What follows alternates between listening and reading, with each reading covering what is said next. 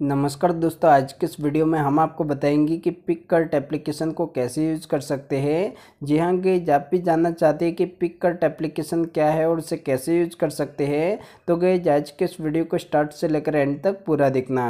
Video start करने से पहले अभी तक आपने हमारे यूट्यूब चैनल को सब्सक्राइब नहीं किया तो प्लीज़ सब्सक्राइब कर लीजिए और बेलाइकन को प्रेस करके ऑल पर सेट कर लीजिएगा, जिससे आने वाली वीडियो की नोटिफिकेशन आपको मिलती रहेगी। तो चलिए फ्रेंड्स, आज के वीडियो स्टार्ट करते हैं। तो गई सबसे पहले आपको प्ले स्टोर एप्लीकेशन को ओपन करना है।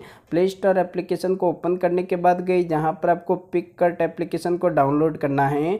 तो गई, जहाँ पर मैंने इस एप्लीकेशन को पहले से ही डाउनलोड करके रखा है। इसके बाद गई, जहाँ पर आप देख सकते हैं, यहाँ पर आप इस एप्लीकेशन की डाउनलोडिंग देखना चाहते हैं तो गई, जहाँ पर आपको वन करोड़ प्लस डाउनलोडिंग देखने को मिल जाती है। और इस एप्लीकेशन के रिव्यू एंड रेटेड देखना चाहते हैं तो गई, जहाँ पर आपको नाइन्टी रिव्यू देखने को मिल जाती है थ्री प्लस रेटेड देखने को मिल जाती है इसके बाद गई, जहाँ पर मैं आपको बता दूँ कि पिक कट एप्लीकेशन क्या है तो गई, जहाँ पर आप देख सकते हैं, यहाँ पर आप पिक एप्लीकेशन में फ़ोटो को एडिट कर सकते हैं और गई, जहाँ पर आप देख सकते हैं, यहाँ पर आप एआई फ़ोटो को एडिट कर सकते हैं। इसके बाद गई, जहाँ पर आप देख सकते हैं, यहाँ पर आप बैकग्राउंड को रिमूव कर सकते हैं। इसके बाद गई, जहाँ पर आप देख सकते हैं, यहाँ पर आपको कई सारे टेम्पलेट देखने को मिल जाते हैं।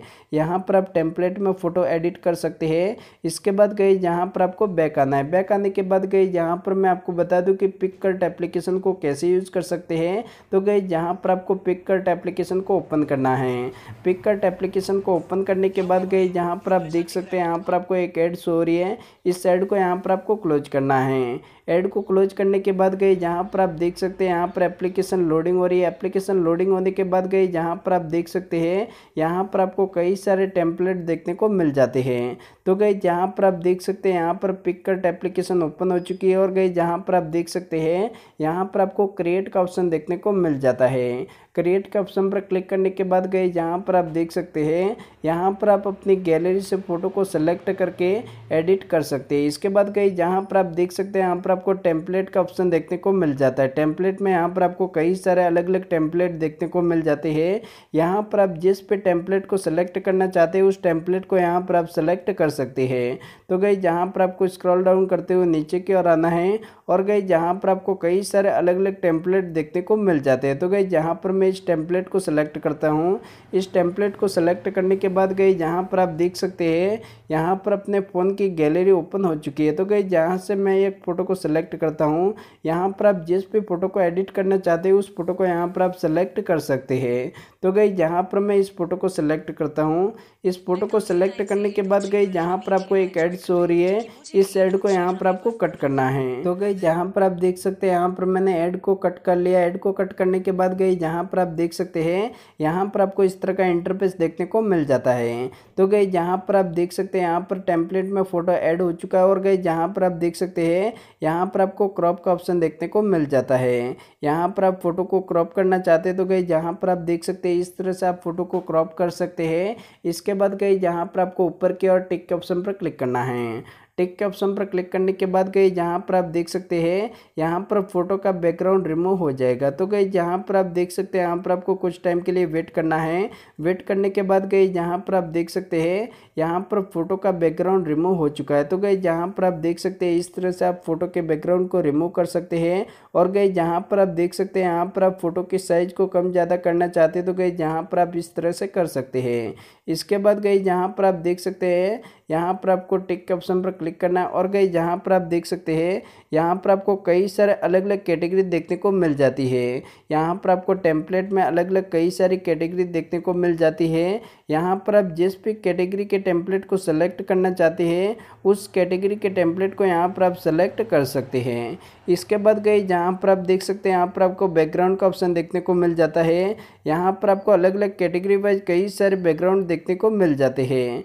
यहाँ पर आप जिस पे बैकग्राउंड को सेलेक्ट करना चाहते हैं, उस बैकग्राउंड को यहाँ पर आप सेलेक्ट कर सकते हैं। तो कई जहाँ पर आपको अलग अलग कैटेगरी वाइज कई सारे बैकग्राउंड देखने को मिल जाते हैं। इसके बाद गई जहाँ पर आप देख सकते हैं, यहाँ पर आपको इफ़ेक्ट का ऑप्शन देखने को मिल जाता है। इफ़ेक्ट के ऑप्शन पर क्लिक करने के बाद गई जहाँ पर आप देख सकते हैं यहाँ पर आपको अलग अलग कैटेगरी वाइज कई सारे इफ़ेक्ट देखने को मिल जाते हैं। यहाँ पर आप जिस पे इफ़ेक्ट को ऐड करना चाहते हैं, उस इफ़ेक्ट को यहाँ पर आप ऐड कर सकते हैं।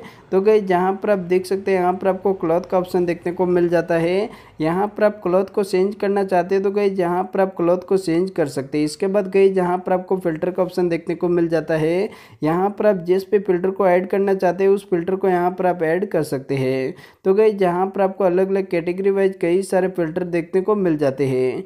यहाँ पर आप जिस भी फ़िल्टर को ऐड करना चाहते हैं, उस फ़िल्टर को ऐड कर सकते हैं। इसके बाद गई जहाँ पर आपको ए आई आर्ट का ऑप्शन देखने को मिल जाता है। यहाँ पर आप फ़ोटो को ए आई आर्ट करना चाहते हैं तो गई जहाँ से आप ए आई आर्ट कर सकते हैं। इसके बाद गई जहाँ पर आपको स्टिकर का ऑप्शन देखने को मिल जाता है। स्टिकर का ऑप्शन पर क्लिक करने के बाद गई जहाँ पर आपको अलग अलग कैटेगरी वाइज कई सारे स्टिकर देखने को मिल जाते हैं। यहाँ से आप जिस भी स्टिकर को ऐड करना चाहते हैं, उस स्टिकर को यहाँ पर आप ऐड कर सकते हैं। इसके बाद गई जहाँ पर आपको टैक्स का ऑप्शन देखने को मिल जाता है। टैक्स के ऑप्शन पर क्लिक करने के बाद गई जहाँ पर आप देख सकते हैं, यहाँ पर आपको अलग अलग कई सारे फ़ॉन्ट देखने को मिल जाते हैं। यहाँ पर आपको अलग अलग कैटेगरी वाइज कई सारे फ़ॉन्ट देखने को मिल जाते हैं। यहाँ पर आप जिस भी फ़ॉन्ट को ऐड करना चाहते हैं, उस फ़ॉन्ट को यहाँ पर आप ऐड कर सकते हैं। तो गई जहाँ पर मैं इस फ़ॉन्ट को सेलेक्ट करता हूँ, इस फ़ॉन्ट को सेलेक्ट करने के बाद गई जहाँ पर आप देख सकते हैं, यहाँ पर आप जो भी टाइप करना चाहते हैं, वो यहाँ पर आप टाइप कर सकते हैं। इस तरह से आप जो भी टाइप करना चाहते हैं वो यहाँ पर आप टाइप कर सकते हैं। तो गई जहाँ पर आप देख सकते हैं, इस तरह से आप टेक्स्ट को ऐड कर सकते हैं। इसके बाद गई जहाँ पर आपको टिक के ऑप्शन पर क्लिक करना है। टिक के ऑप्शन पर क्लिक करने के बाद गए, जहाँ पर आप देख सकते हैं, इस तरह से आप टेक्स्ट को ऐड कर सकते हैं। इसके बाद गए, जहाँ पर आप देख सकते हैं, इस तरह से आप इजी तरीके से पिककट एप्लीकेशन में फ़ोटो को एडिट कर सकते हैं। फ़ोटो को एडिट करने के बाद गए, जहाँ पर आप देख सकते हैं, यहाँ पर आप फ़ोटो को गैलरी में सेव करना चाहते हैं तो गए, जहाँ पर आपको ऊपर के और सेव के ऑप्शन पर क्लिक करना है। सेव के ऑप्शन पर क्लिक करने के बाद गए, जहाँ पर आप देख सकते हैं, यहाँ पर फ़ोटो गैलरी में सेव हो चुका है। तो गए, जहाँ पर आप देख सकते हैं इस तरह से आप इजी तरीके से फ़ोटो को गैलरी में सेव कर सकते हैं। और गई जहाँ पर आपको एक ऐड शो हो रही है। इस साइड को यहाँ पर आपको कट करना है। एड को कट करने के बाद गई जहाँ पर आप देख सकते हैं, यहाँ पर पिक कट एप्लीकेशन में फ़ोटो एडिट हो चुका है। तो गई जहाँ पर आप देख सकते हैं, इस तरह से आप इजी तरीके से पिक कट एप्लीकेशन में फ़ोटो को एडिट कर सकते हैं। इसके बाद गई जहाँ पर आप फ़ोटो को शेयर करना चाहते हैं तो गई जहाँ पर आपको कई सारे अलग अलग ऑप्शन देखने को मिल जाते हैं। तो गई जहाँ पर आप देख सकते हैं, इस तरह से आप पिक कट एप्लीकेशन को यूज़ कर सकते हैं। तो गई कैसा लगा ये वीडियो आप हमें कमेंट करके ज़रूर बताएँ। और अभी तक आपने हमारे चैनल को सब्सक्राइब नहीं किया तो प्लीज़ सब्सक्राइब कर लीजिए और बेल आइकन को प्रेस करके ऑल पर सेट कर लीजिएगा, जिससे आने वाली वीडियो की नोटिफिकेशन आपको मिलती रहेगी।